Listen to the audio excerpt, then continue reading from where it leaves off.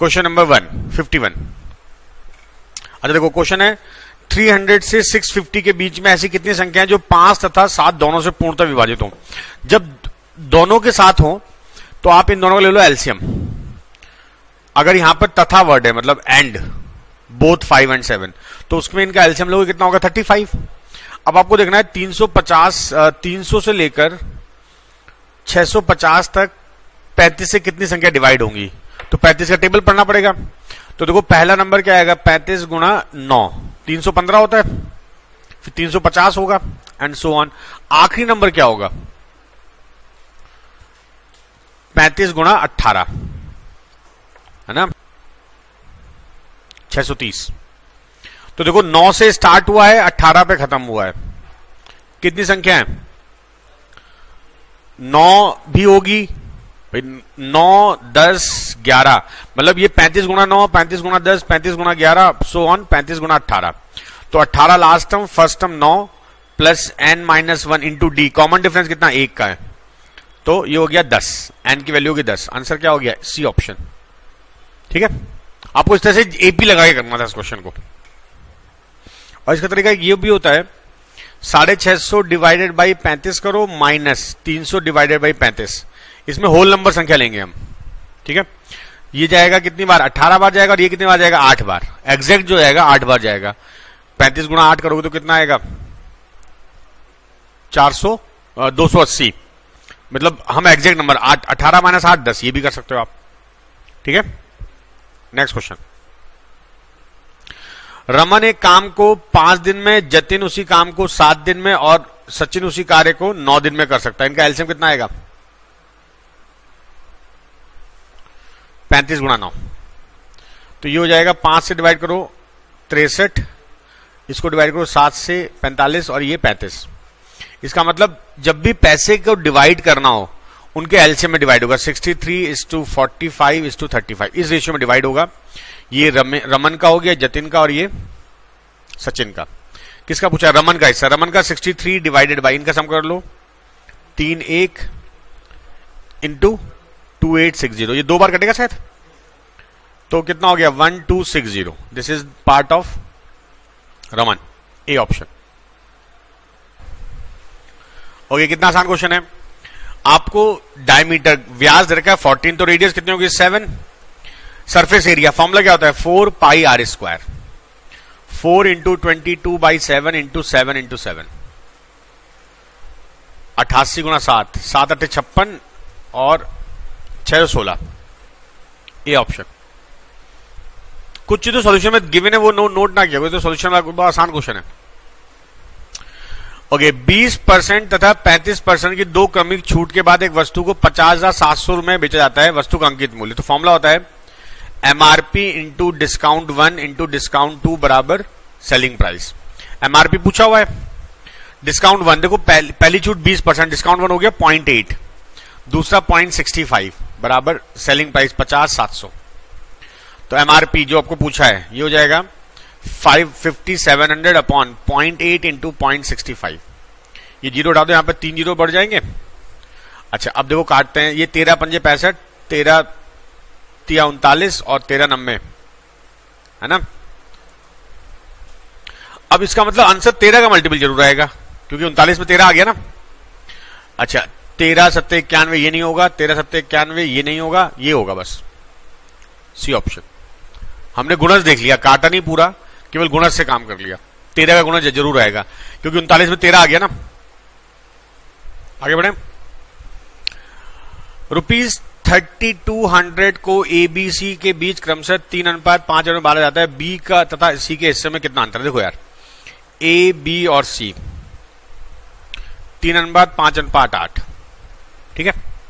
ये आपको पूछा बी और सी का अंतर। कितना अंतर है बी और सी का? तीन।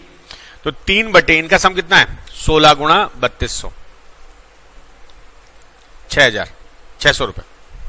B option the average age of five members of family is twenty four years if the youngest member is eight year old then what was the average age of the family at the time of the birth of youngest member देखो, बहुत मज़ेदार logic होता है। पाँच लोगों की total पाँच लोगों की एवरेज एज चौबीस साल है। इसमें चार लोग हैं प्लस एक लड़का जिसकी एज कितनी है? आठ साल। अब इसका एक शॉर्टकट होता है, मैंने बताया था शायद आप लोगों को, मेरी शॉर्टकट क्लास में आपने अटेंड किया होगा, और जिस जिसने नहीं किया तो मैंने एवरेज का एक और वीडियो डाला यूट्यूब पे, वहाँ देख लेना। तो देखो ये आठ कितना कम है? सोलह कम है। सोलह गुणा एक बराबर, ये ज़्यादा होना चाहिए मोर इंटू फोर क्योंकि चार वैल्यू ना यहाँ पर। तो मोर कितना होगा? चार। ये मोर किसका होगा? एवरेज का। तो इनकी एज 28 साल होनी चाहिए इस वक्त इन चार लोगों की। और पूछा कब है? जब वो लड़का पैदा हुआ होगा, लड़का कब पैदा हुआ है? आठ साल पहले। तो अगर आज एवरेज अट्ठाईस है तो आठ साल पहले एवरेज कितना होगा? बीस। ये बड़े इंपॉर्टेंट शॉर्टकट होते हैं, इसमें कुछ नहीं करना होता। आपको ये तैयार करना पड़ेगा। मैं अभी शॉर्टकट क्लास में बताऊँगा। दिवाली के बाद शॉर्टकट क्लास में एवरेज पढ़ा दूँगा, ठीक है ना? ये क्वेश्चन बड़े मज़ेदार होते हैं। ये ओरल तरीके होते हैं। यदि कलम की कीमत में 20 परसेंट कमी होती है तो एक व्यक्ति सौ रुपए में 10 कलम अधिक खरीद सकता है। तो देखो 20 परसेंट ऑफ़ रुपीज़ सौ बराबर new cost of ten pen तो देखो 20 परसेंट सौ का कितना होगा? बीस रुपए। दस पेन की न्यू कॉस्ट कितनी आ गई? बीस रुपए। तो एक पेन की न्यू कॉस्ट दो रुपए। आंसर। अगला क्वेश्चन देखो। After deducting 60 percent from a certain number and then deducting 15 from the remainder four one four two eight is left तो मान लो नंबर एक्स है। पहला डिडक्शन कितना? 60 परसेंट तो पॉइंट फोर बचेगा। अगला है 15 तो बचेगा पॉइंट एट्टी फाइव। और कितना बन गया है? चौदह सौ अट्ठाईस। एक्स बराबर चौदह सौ अट्ठाईस बटे पॉइंट चार गुणा पॉइंट एट्टी फाइव। ये हटा लो दशमलव एक हज़ार। तो चार से चार तिया बारह, चार पंजे बीस, चार सत्ते अट्ठाईस। और ये सत्रह से पाँच बार, सत्रह दूनी चौतीस, सत्रह एकम सत्रह। पाँच से दो बार। तो चार हज़ार दो सौ।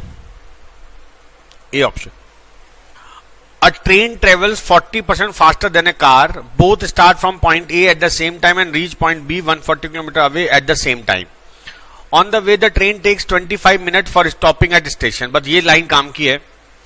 रास्ते में वो 25 मिनट ट्रेन रुकी। अच्छा यहाँ पे ध्यान देने की बात यह कि दोनों सम, बराबर पहुँचे हैं।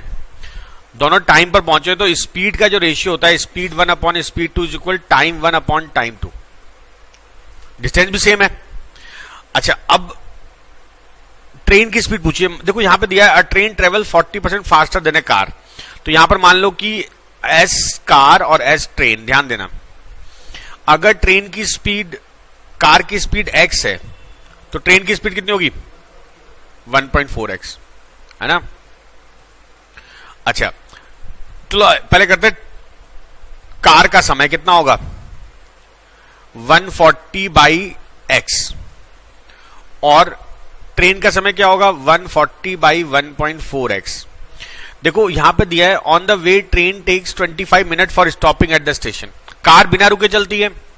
ये जो ट्रेन को टाइम लगा है, और दोनों बराबर समय पहुँचे, इसका मतलब ट्रेन का जो टाइम है, वो टाइम ऑफ़ कार के साथ 25 जुड़ने के बाद आया। मिनट में है ना तो डिवाइड बाई 60 कर लो। समझे बात ये? जो ट्रेन का टाइम है, वो 25 मिनट ज़्यादा है कार के टाइम से, क्योंकि पहुँचे साथ साथ है ना, बीच में के रुक भी गई थी। तो ट्रेन का टाइम का वैल्यू है 140 फोर्टी बाई वन एक्स बराबर। 140 फोर्टी बाई एक्स प्लस पाँच से काट लो इसको पाँच से बारह बार। ये पाँच बटे बारह हो गया। तो अब हम क्या करेंगे? 140 forty by one point four X minus one forty by X is equal five by twelve यहाँ पर एल्सियम कितना आ जाएगा? 1.4x पॉइंट फोर एक्स यह काम करो, इसको 1.4 से काट के यहाँ पर 100 कर लो। एक्स एल्सियम आ गया। अच्छा उल्टा हो गया, माइनस होगा यार। क्योंकि ट्रेन, ट्रेन का टाइम ज़्यादा है ना वो पच्चीस मिनट रुकी भी थी। ट्रेन कार का टाइम कम होगा। कार जल्दी पहुँची होगी लेकिन ट्रेन बीच में रुक गई इसलिए उसने बराबर टाइम ले लिया। यहाँ पर ये उल्टा हो जाएगा ये हो जाएगा 140 माइनस सौ। बराबर पाँच बटे बारह।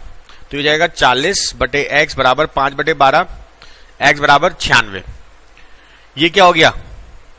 ये किसकी स्पीड आई? कार की। हमें पूछा किसकी स्पीड है? ट्रेन की। तो ट्रेन की स्पीड कितना है? 1.4x तो speed of train is equal 1.4 point four into छियानवे आंसर क्या आएगा? B option a certain sum of money triple itself in five year at simple interest in how many year it will be five time देखो यार, आपको simple सी बात समझना है। पाँच साल में अगर एक्स रुपए तो कितना हो गया? तीन एक्स तो कितना बढ़ा ये? तो अगले पाँच साल में क्या होगा? फिर दो एक्स बढ़ जाएगा सिंपल इंटरेस्ट है ना? पाँच एक्स हो गया तो कितने साल में वो पाँच गुना हो गया? कोई ज़रूरत नहीं फॉर्मूला लगाने की। आपको लॉजिक समझना पड़ेगा। अगर कोई धन एक्स से पाँच एक्स तीन एक्स हो जाता है, कितने साल में? पाँच साल में। मतलब दो गुना, दो एक्स बढ़ गया है। ब्याज दो एक्स हो गया। तो अगले पाँच साल में फिर दो एक्स ब्याज चलेगा क्योंकि क्वेश्चन किसका है? सिंपल इंटरेस्ट का है। तो जितना ब्याज इधर पाँच साल में लगा, उतना ही ब्याज अगले पाँच साल में लगेगा दो एक्स तो अब तीन एक्स में दो एक्स जोड़ लो, पाँच एक्स हो गया। मतलब पाँच गुना हो गया तो दस साल लगे। सी ऑप्शन इसमें फॉर्मूला लगाया जाता है इसमें केवल दिमाग लगाते हैं। X plus one upon X बराबर टू एक्स की पावर चौसठ प्लस एक्स की पावर एक सौ इक्कीस। बहुत सिंपल सी बात है, अगर x plus one upon X two दिया है ये तभी संभव है जो x बराबर वन हो। क्यों?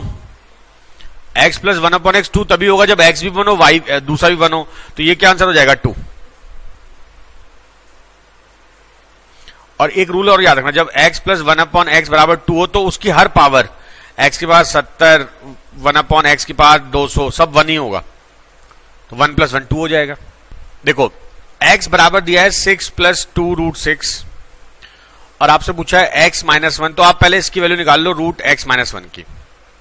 ये क्या होगा? देखो, x की वैल्यू पुट करो six plus two root six minus one ये हो गया पाँच प्लस दो रूट छ अब जो मैं करूँ, ध्यान देना।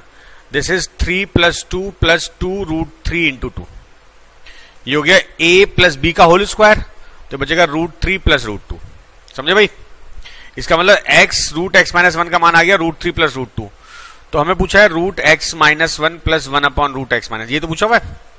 ये वैल्यू होगी root three plus root two और ये होगी one upon root three plus root two अब जो मैं कर रहा हूँ, ध्यान समझना। ये क्या हो जाएगा अगला स्टेप मैं इसको, इसके संयुग्मी कंजुगेट से मल्टीप्लाई कर रहा हूँ। Root three minus root two और ऊपर भी root three minus root two नीचे क्या बनेगा? ए प्लस बी और वो क्या हो जाएगा? A square minus b square one तो बचेगा क्या? Root three plus root two plus root three minus root two ये कट गया?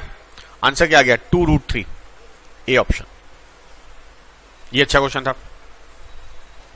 ओके नेक्स्ट क्वेश्चन देखते हैं। अच्छा देखो, a plus b plus c बराबर सत्ताईस है और आपसे बोला है a माइनस सात का whole cube plus b minus nine का whole cube, plus c minus ग्यारह का whole cube. Minus three a minus seven, b minus nine and c minus ग्यारह। एक रूल आपको पता होगा, अगर x plus y plus z बराबर ज़ीरो तो x cube plus y cube plus z cube minus three x y z क्या होता है? ज़ीरो होता है ना? अब यहाँ पर देखो मैं क्या करूँगा? देखो, a के साथ मैं सात को धला रहा हूँ। देखो, सत्ताईस के मैंने टुकड़े कर दिए। a माइनस सात कर दिया। प्लस बी माइनस नौ कर दिया, प्लस सी माइनस ग्यारह कर दिया, ठीक है? मैं सत्ताईस को उधर शिफ्ट कर लिया, टुकड़े कर दिए, सात, नौ, ग्यारह। सत्ताईस तो हो रहा है। अब ये एक्स हो गया, ये वाई हो गया, ये जेड हो गया। इनका सम ज़ीरो तो x cube plus y cube plus z cube minus three x y z क्या आंसर होगा? ज़ीरो मैनेज करना पड़ेगा। नेक्स्ट क्वेश्चन अच्छा इस तरह क्वेश्चन ध्यान रखना हमेशा। एक्स बराबर दो रूट पंद्रह upon root three plus root five. जब भी ऐसा हो ना x root five upon x minus root five plus x plus root three upon x minus root three, जब भी ऐसी फॉर्म आए, टर्म आए, इसका आंसर हमेशा दो मार्क करना है। एक्स एक्स नीचे ऊपर नीचे same same value plus minus हो, इधर प्लस हो बीच में एक्स एक्स ऊपर नीचे हो, इधर रूट थ्री रूट थ्री हो तो हमेशा दो आंसर आता है। सोल्यूशन पूरा उसमें दिया हुआ है। ठीक है? जब आपको जो शीट में सोल्यूशन उसमें लंबा सोल्यूशन कोई फ़ायदा नहीं है। The perimeter of an isolate triangle is thirty two perimeter of समदिवाव त्रिभुज ये बत्तीस दिया है। And each of the equal side is five by six time of the base अगर बेस एक्स है तो ये कितना होगा? फाइव बाई सिक्स एक्स ये भी फाइव बाई सिक्स एक्स यही तो होगा। तो इनका सम कितना है? क्योंकि पैरामीटर दिया है five by six x plus x plus five by six x बराबर बत्तीस। ठीक है? तो छह एल्सियम आ गया। पाँच एक्स प्लस छह एक्स प्लस पाँच एक्स बराबर बत्तीस तो ये हो जाएगा सोलह एक्स बराबर बत्तीस गुणा छ तो सोलह दूनी बत्तीस, एक्स कितना हो गया बारह तो अगर एक्स बारह हो गई तो हो जाओगे बारह, ये हो गई दस और ये भी दस हो गई। अब आपको इसका पूछा है एरिया तो ध्यान देना, ये दस ये दस, ये बारह, अब यहाँ से लम डाल दो, ये छह हो जाएगा, ये आठ आएगा तो एरिया क्या हो गया, हाफ़ बेस, बारह, हाइट आठ। अड़तालीस। ये अच्छा क्वेश्चन था। अच्छा सम चतुर्भुज माने rhombus if length of each side of rhombus p q r देखो रोम्बस क्या होता है? ये सारी भुजाएँ एट हैं। एंगल पी क्यू आर ये पी क्यू आर एस ये एंगल 120 है तो ये कितना होगा? 60 क्योंकि अपोजिट एंगल का सम इसका 180 होता है। सप्लीमेंट्री होता है। Then what is the length of q s अच्छा ये पूछा हुआ है। इसको ज्वाइन कर दो। ध्यान देना। ये भुजा ये भुजा बराबर, ये 60 तो ये भी 60 होगा। सारे कोण 60 होगा तो ये भुजा भी 8 हो जाएगी। क्योंकि संभाव त्रिभुज बन जाएगा ना इक्वलेटेड ट्रायंगल ये अच्छा क्वेश्चन था और आसान भी था। क्वेश्चन नंबर हाँ ये क्वेश्चन अच्छा है। दी गई आकृति में एबीसी एक त्रिभुज, देखो एबीसी एक त्रिभुज है। बी का आंतरिक, ये कोण विभाजित मतलब ये भी वाई और सी का बाह्य विभाजक बिंदु डी पर प्रतिच्छेद करता है। ये भी एक्स ये भी एक्स और आपको बोला है angle b d c is forty eight तो एंगल ए का मान ये वैल्यू पूछी हुई आपसे। ठीक है? अब यहाँ पर बड़ा इंपॉर्टेंट हो जाता है। अगर ये एंगल एक्स है, ये अड़तालीस है तो ये एंगल कितना होगा? एक्स प्लस अड़तालीस, यही तो होगा। क्यों? ये बाह्य कौन नहीं होगा इस ट्रायंगल का। अरे बोलो। अच्छा अगर ये मान लेते थीटा है तो थीटा प्लस वाई बराबर एक्स प्लस अड़तालीस, यही तो होगा। ये भी तो इसका भाई कौन हो गया? कई तरीके हो सकते हैं जो आपको अच्छा लगे वो करना। हमने क्या, हमें थीटा निकालना है तो ये हो जाएगा एक्स माइनस वाई प्लस अड़तालीस। अब हम कुछ भी करके एक्स माइनस वाई निकाल लें। है ना? अच्छा यहाँ पर देखो, ये एंगल अगर एक्स है तो ये कितना होगा? 180 एट्टी माइनस ये एंगल 2y इन सबका सम कितना होगा? Theta plus two y plus one eighty minus two x बराबर? 180 होगा? अच्छा देखो 180 180 कट गया। तो ये मैं दोनों वैल्यू इधर ले आता हूँ। थीटा बराबर 2x x minus two Y यहाँ से x माइनस वाई कितना हो गया? थीटा बाई टू तो थीटा बाई टू यहाँ रख दो। थीटा बराबर थीटा बाई टू प्लस अड़तालीस। तो थीटा बाई टू बराबर अड़तालीस। थीटा कितना हो गया? छियानवे। अब आपको रूल याद रखना है। अगर ऐसे एक एंगल ये बाइसेक्ट हो रहा है ये तो इसका जो एंगल उसका डबल ये होता है। ठीक है ध्यान रखना। सीधे छियानवे आंसर हो गया। चाहो तो प्रूव भी कर सकते हो। नोट करो, ये अच्छा क्वेश्चन था। दी गई आकृति में ओ व्रत का केंद्र है तथा एंगल डीसीई डीसीई और सीडी बोला हुआ है दस रूट दो। एसी की लंबाई सेंटीमीटर में क्या है? यदि सीबी बराबर ओके तो देखो बड़ा इंपॉर्टेंट क्वेश्चन दोबारा डायग्राम बनाना पड़ेगा इसका। ये सेंटर बोला हुआ है, ये ज्वाइन कर दो तो ये सी है, ये पैंतालीस है तो ये कितना होगा? पैंतालीस होगा। और ये ई e ये डी है। अब देखो, इसमें कुछ चीज़ें बड़ी काम की हैं ज्योमेट्री का बहुत ज़्यादा यूज़ हुआ है। देखो भाई, अगर ये मिड पॉइंट बोला हुआ है, इसका मतलब ये नब्बे डिग्री है। और सीबी बराबर बीडी बोला है, और ये पूरी सीडी कितना, दस रूट दो तो ये कितना होगा, पाँच रूट दो। ये भी पाँच रूट दो होगा। और अगर ये नब्बे है, ये पैंतालीस है तो ये भी पैंतालीस होगा। ये पाँच रूट दो तो ये कितना हो गया, पाँच रूट दो। तो अब ये राइट एंगल ट्राइंगल है और ये रूप पैंतालीस पैंतालीस तो ये कितना हो गया? दस। ये दस तो ये भी दस। रेडियस है ना? ये सेंटर बोला है, ओ, ये दस हो गया। अब हम पूछा क्या है? एसी पूछा हुआ अच्छा देखो भाई, ये दस है, ये पाँच रूट दो है, और ये पाँच रूट दो, ये निकल आएगा पाइथागोरस से। एसी का वर्ग बराबर ए बी का वर्ग प्लस बीसी का स्क्वायर अच्छा ए बी कितना? दस प्लस पाँच रूट दो। प्लस पाँच रूट दो का स्क्वायर अच्छा पाँच रूट दो, आप एक काम करो रूट दो की वैल्यू होती है कितनी? One point four one four तो वन पॉइंट फोर वन ले लो। तो ये वैल्यू कितनी हो गई? पाँच गुणा वन पॉइंट फोर वन पाँच, सात। तो जगह सत्रह पॉइंट ज़ीरो फाइव का स्क्वायर प्लस ये कितना हो गया? पचास। अब हम अप्रोक्सीमेट कर रहे हैं, इसको पॉइंट फाइव भूल जा रहे हैं ज़ीरो फाइव सत्रह का स्क्वायर कितना होता है? टू एट्टी नाइन प्लस पचास। ये कितना हो जाएगा? इसको नब्बे कर लो, क्योंकि पॉइंट ज़ीरो फाइव भी नब्बे मान लेते हैं। दो सौ नब्बे प्लस पचास, तीन सौ चालीस। और तीन सौ चालीस किसका स्क्वायर रूट होता है? उन्नीस के आसपास। भाई, उन्नीस का स्क्वायर थ्री नाइनटी वन होता है थ्री फोर्टी वन होता है तो एसी का माना जाएगा उन्नीस के आसपास। कौन सा आंसर उन्नीस के पास है? सी ऑप्शन सबसे क्लोज यही आंसर है ना? Okay sine two a upon one plus cos two a का देखो, एक रूल होता है। साइन टू होता है two sine a cos a और वन प्लस ये होता है two sine square a minus one. ये फॉर्मूला पता है? हाँ थ्री कॉस स्क्वायर है। साइन में माइनस वन माइनस होता है। तो देखो, ये टू टू कट जाएगा कॉस से cos sine upon cos tan है। A option. ठीक है? ये टेन टू ए नहीं होगा यहाँ पर। ये होगा sec a upon cot a plus tan a का स्क्वायर। तो इसको आप मान लो ए को थर्टी डिग्री ठीक है? वैसे फोर्टी फाइव भी मान सकते हैं। अब फोर्टी फाइव मान लेते हैं। सेक फोर्टी फाइव होता है रूट टू नीचे वन प्लस वन तो रूट टू बाई टू कितना हो जाएगा? टू बाई फोर या वन बाई टू अब हम देखते हैं कौन सा ऑप्शन वन बाई टू दे रहा है। फोर्टी फाइव रखो यहाँ पर। वन बाई टू ये कितना हो जाएगा? वन सेक स्क्वायर है टू ये भी टू तो आंसर कौन सा हो गया? ए ऑप्शन इसके क्वेश्चन में गलती थी। हो गया भाई? अगला देखो। One plus tan a into tan a by two का सिंप्लीफाइड वैल्यू। क्या करते हैं हम? ए का वैल्यू पुट कर देते हैं सिक्सटी डिग्री। इससे फ़ायदा क्या होगा?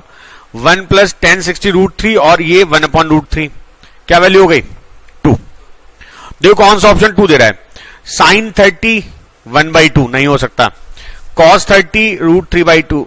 Cos sixty one by two. नहीं होगा। Sec sixty two. यही तो दे रहा है। C option angle value put करना बहुत जल्दी हो जाता है क्वेश्चन हो गया भाई? अगला क्वेश्चन देखो। आसान क्वेश्चन है। टोटल 1200 जूते दिए हुए हैं।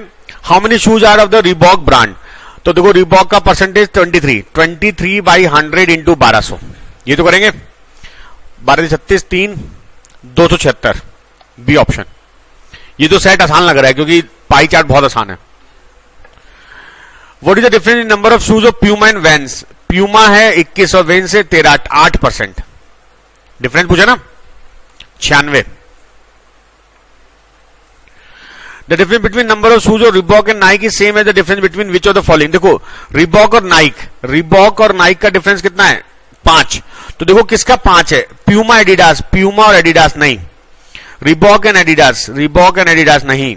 वेंस एंड नाइक यस है ना? पाँच परसेंट डिफरेंस आना चाहिए। Puma shoes are how much percent more than the Nike shoes Puma के शूज़ कितना है? 21 और नाइक के 18 तो परसेंटेज मोर अब ये बड़ा इंपॉर्टेंट है। नाइक से पूछना तीन का डिफरेंस है अपॉन 18 नीचे आपको क्या करना है? नाइक का लेना पड़ेगा। तो 50 बटे तीन, सोलह सही, दो बटे तीन या सोलह पॉइंट सिक्स सिक्स। ठीक है ना?